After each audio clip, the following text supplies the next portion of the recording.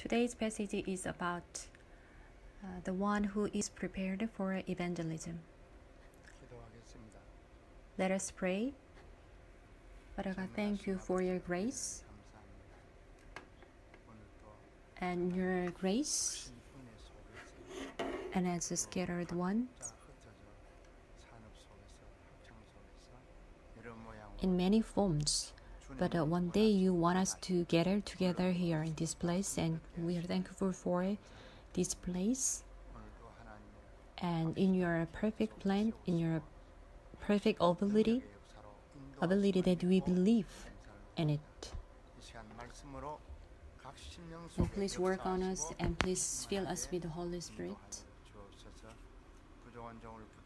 And with my lips, I want to speak about your words I'm praying for the senior pastor who is doing his missions in the Central and South America.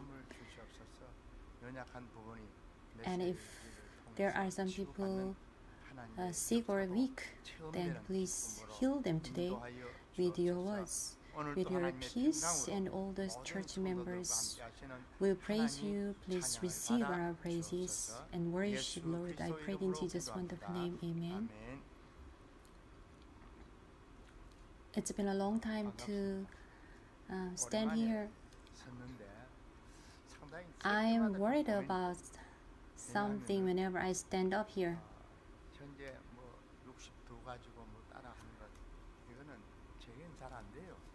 I actually it is kind of difficult for me to follow after the, all the 62 strategies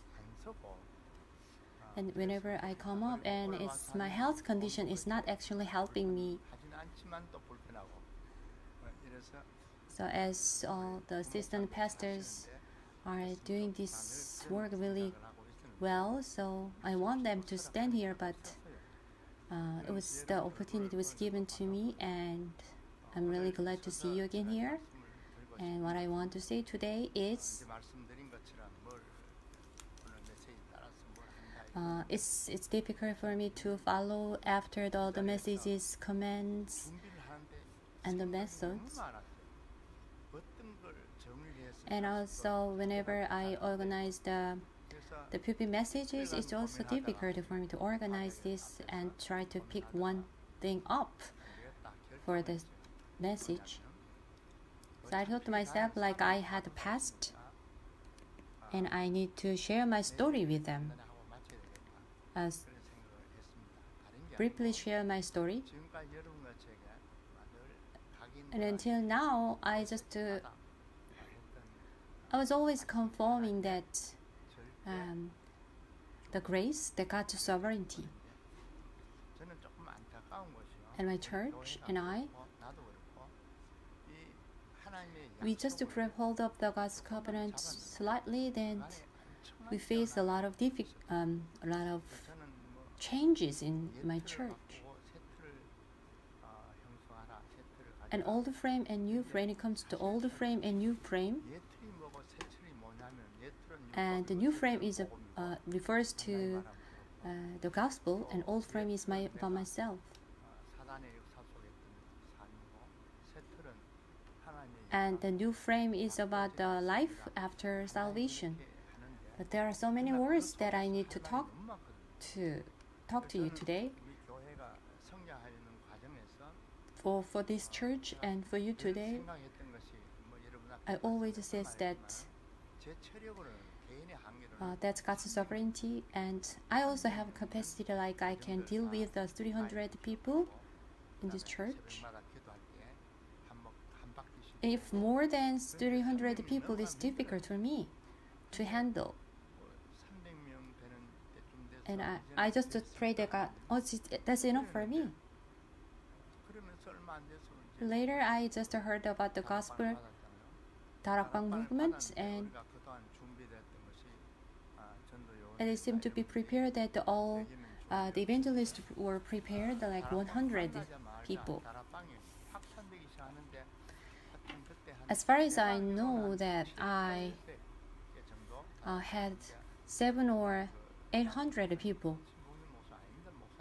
And Pastor Xin told me that we have more than seven or 800 people in this church. Then later on,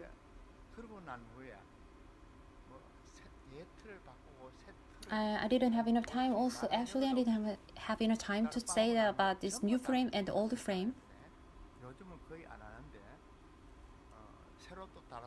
And we have this campaign about Darakbang movement. We need to renew this Darakbang movement, but people don't have the minds. They don't have any thought and minds in this. And of Darakbang movement, there are so many women, and they are kind of having this one or two Darakbang meetings because they are busy. They cannot do more than two and they are uh, busy with a lot of house chores and taking care of the family. And we, we said that we need to start Darakbang movement now, and it's a kind of important thing. We just faced the Darakbang movement when we have just only 300 people, and later 500 people and we changed our frame. And the old frame was like uh, um, the ministry before the Darakbang movement and later. Uh, with more than 500 people in Songyang Church, and the Songyang Church cannot uh, accommodate this more than 500, and they just came to church earlier if they don't come to church earlier, then they can they couldn't get in the church. So they just got up uh, early in the morning, and they if they are a little bit late, then they need to stand outside the church. And the elders soon just made a preparation to committee to construct a new building. And uh, when I had a mind that I need to build up the new church, then I had uh, thought like we need to gather some money. But after, as soon as we ha- uh, had a thought that we need to build up the new church, then we just found this land. Uh, it's like a 50 years, it's been 50 years now, and you made this, not me. Um, and I, I felt very shameful about this construction. Uh, but when it comes to building up the Songyeon church, then I had no idea about how to construct a building, and I had uh, um, experience to put the tiles on the wall. It was my first time to do this construction work.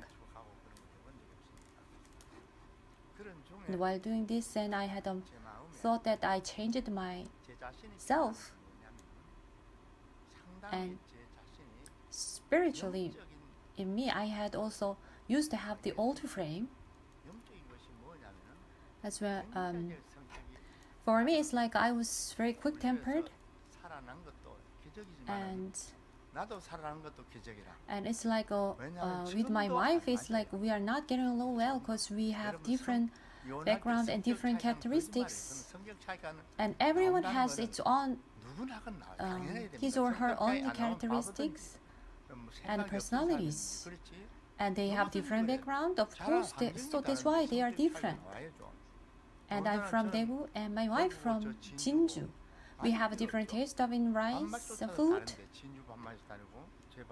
and uh, we have different taste in soups so we are totally different and physically and mentally we are different but we just lived up until now because we just found a new frame my new frame is was uh, God's sovereignty. That was my new frame at the time. And the theological schools, we learned a lot of this sovereignty of God. But absolutely, we grab hold of these uh, concepts of sovereignty when I received the messages from Yu Gangsu, Pastor Liu Gang-su. And the moment I grab hold of this um, God's sovereignty covenant, then I, we can change ourselves spiritually. And the spiritual change in me was like, a, uh, it's about my character um, I have a very I have sort some sort of depressions. It's about the panics and all the depressions, all sorts of depressions. And of course, there are so many. I think almost all of you have this kind of uh, depressions. It um, it's different. Uh, depends on their how serious it is, but every almost everyone has this kind of sickness. Um, I'm very quick-tempered. I'm very nervous all the time. And I was kind of picky. And I always tidy up my table and my desk. And before I just mentioned this, I need I used to put the book straight in place in the right place. and I always organize my books on the shelves and I could find the books uh, because they are always in the place where it, it should it is supposed to be.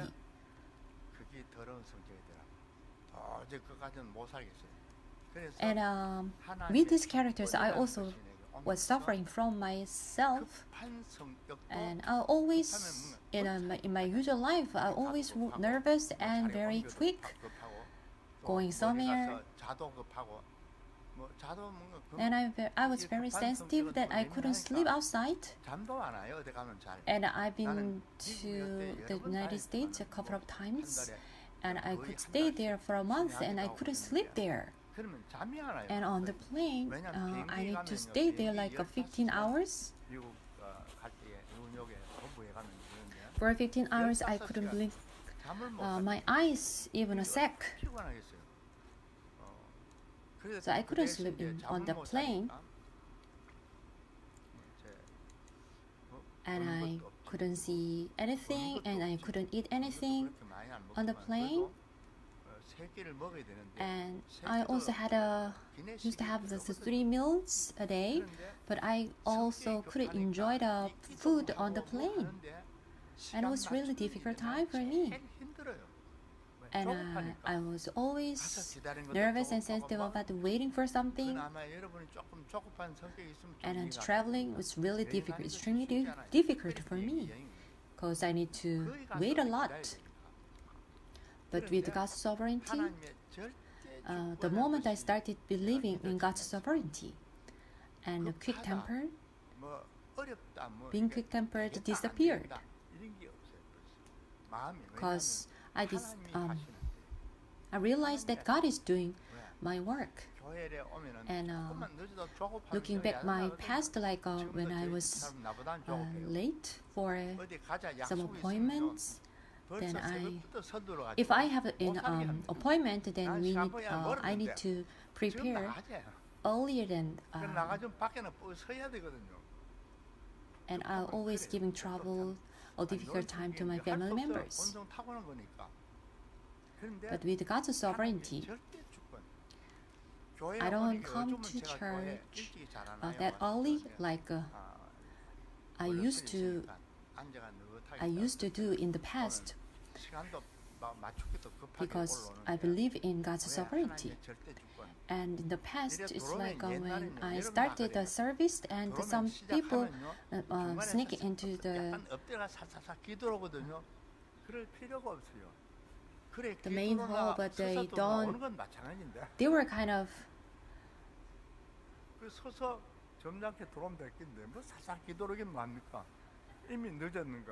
They were worried about being rebuked by me because they were sneaked into this room. Um, but they don't have to. They can just, stand and sit up straight, even though they are late. And God is doing my work, God is doing everything. That's God's sovereignty. Of course, if you are late, then you can say, I can, I just, I'm late, I'm sorry, then that is, that's it. That was really blessing that I found this God's sovereignty and have a peace like uh, greetings. We ha- we usually say have a peace and peace is really important because i didn't used to have this peace. if you are quick tempered and you don't have any peace in your heart but upon receiving god's sovereignty then I started enjoying this God's sovereignty. And uh, if you are very competitive, it's it driving it's driving you crazy. Always you need to beat over others. Then I realized this fact that I need to have this peace and God's sovereignty, and I started greeting with this peaceful heart, and I um, enjoyed this blessing that I try to share these um, um, messages with others too. As you know well, um, I've never had this kind of service and uh, messages without this background of God's sovereignty and peace, God's sovereignty, and within God's plans. Until now, we've been doing this and we've been um, examining that God is working with us and working for us. It's not done by our own efforts, it's not done by our abilities, but God is doing this. And God is doing this for this world evangelism. Without, regardless of your abilities and the capacities, if you don't know about this God's sovereignty and with your own efforts you want to do something, then you will giving you, uh, you will be giving a lot of troubles to your family and people around you. And think about the, this example. Uh, children come to come home and they try to find mommy first instead of daddy. And even you, when you come to church, then you must find God first. And you must find God's guidance first. God is with us, and God is always with us. And when you uh, look at your mom's face, then you have peace. And you must believe this that God is with us all the time. Then you must believe this, then you will have true peace in your heart. And don't think about your ability and your capacities and your competitiveness, and uh, they are not the matters. But you must think about the backgrounds of God's sovereignty and where does it come from? All this uh, background comes from the prayers. If you don't pray, then you start having this laziness and corruption. And you we're talking about these prayers and 24 hour a day, and you, with this, then you can um, have this background of God's sovereignty, and you can stay and you can live within the prayers. It's not that difficult for you to stay within these prayers, these prayers, and while you are studying and you are working and while you are traveling, then you can stay within the prayers. And still, it is difficult for me to pray and breathe at the same time, but of course, it is. Uh, it should be done, but uh, still, for me, it's kind of difficult. And it's naturally coming out that God is uh, handling my life and and I have a peace whenever I meet people. And within this peace and wherever you go and whatever you do, then you will experience God's kingdom, which is very important in your life. God's kingdom uh, established in your life, then uh, we don't have anything to say about this. And it's not a matter of the success in the world. because God is always with us 25, 24 hours a day. And we have no choice but to try Him in our life because God is with us. And we will start enjoying this uh, deep peace flowing into your heart and into your life. And it's so precious that even people before death they can enjoy this peace. And I said that to I said to uh, my son that even you face difficulties and you must enjoy this. If, if you are sad and you must be thankful for this because you believe in God's sovereignty and whether you are sad, whether you are in pain, God promised that all the triumph in your life under any circumstances. And at this very moment, you must grab hold of this that God is not calling this uh, prominent or the people with ability, God has his, his own timetable.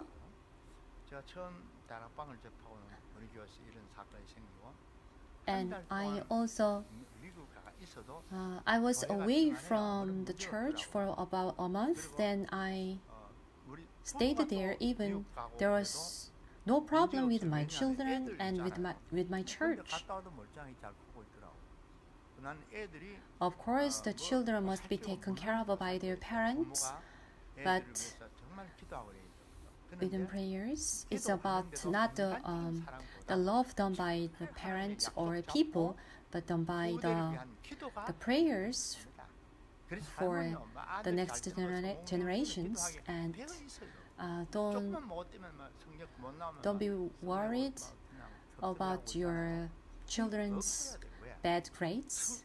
It's okay to, for them to have good grades or bad grades and um, um, then children might be very glad to hear this, but they are, as long as they are staying with the God's sovereignty, then it doesn't really matter if it's working well or not.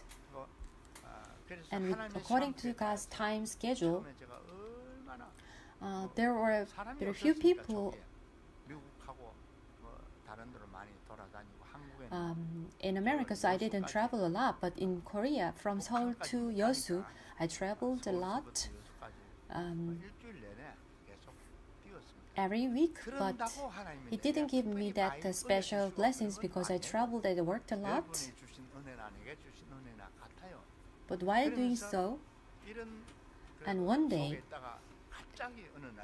I uh, I found um, that I had some problems, serious problems with my heart. I was staying in a hotel and I felt uneasy and and uh, um, I just sensed that there was something wrong with my heart. And then, since then, I've start, I've had serious problems in my health. But nowadays, it's getting much better than before.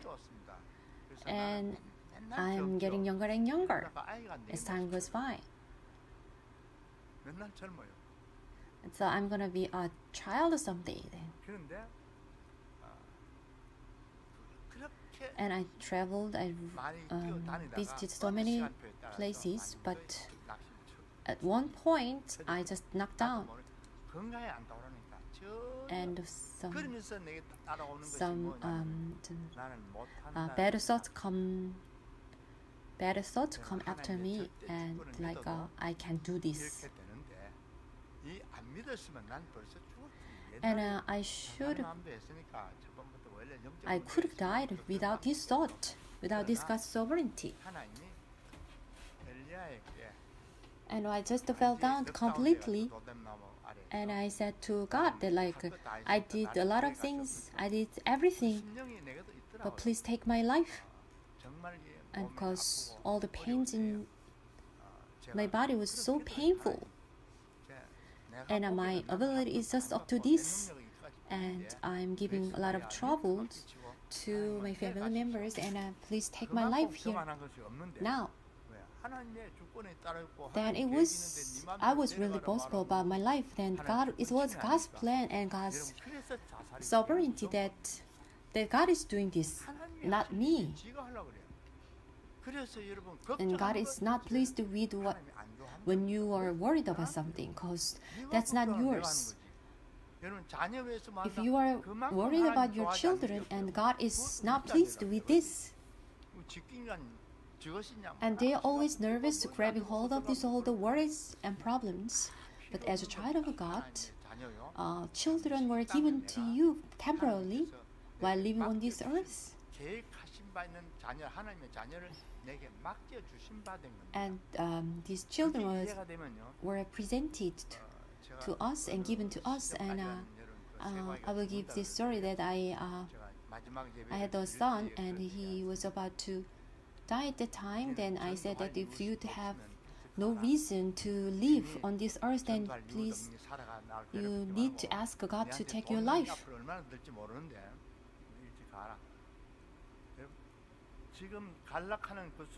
And it's, but um, as, as a parent, it shouldn't he said like this, as a parent, you shouldn't say that to your children, but I, uh, I was believing God's sovereignty. Uh, my son was given to me. And it's uh, temporarily I was taking care of my son. So if God takes his life, then let him do this. Then, uh, at a conference, then I was about to give the benediction, And, and I was, one day I said to um, the audience, and the audience were the, uh, was looking at me like a, some lot of wonders, but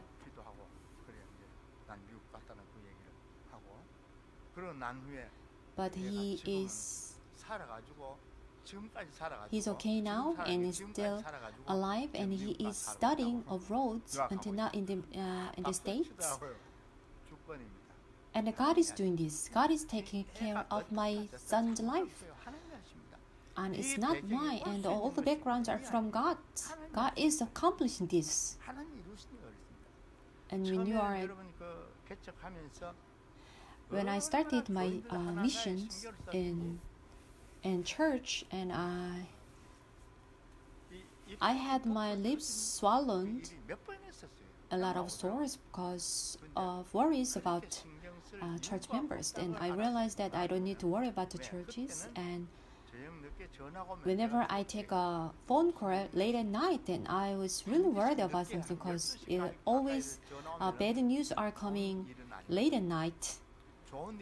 Good news are coming early in the morning. So until now, it was kind of imprinted in my heart that whenever I got a phone call late at night, still I don't feel that good.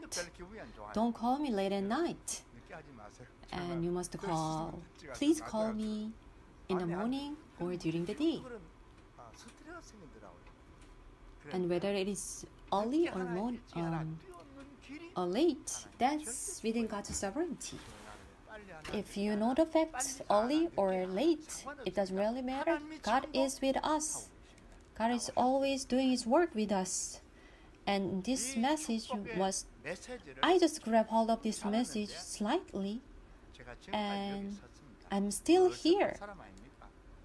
I could have gone to the, the heaven, and I, when I see the young people going to heaven, then I, I thought to myself, like, I need to uh, be taken by God instead of the young people. But